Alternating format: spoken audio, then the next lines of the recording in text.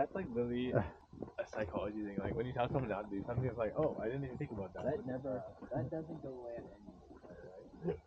No, no, like it's not. It doesn't affect me that much. But like,